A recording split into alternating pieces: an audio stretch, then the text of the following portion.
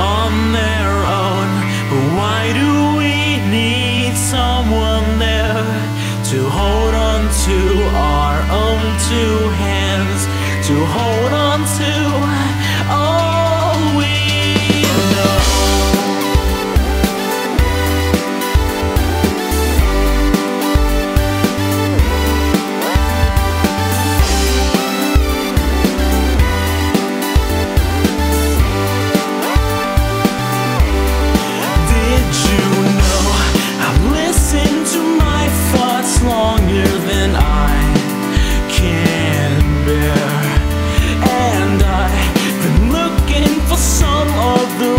to describe my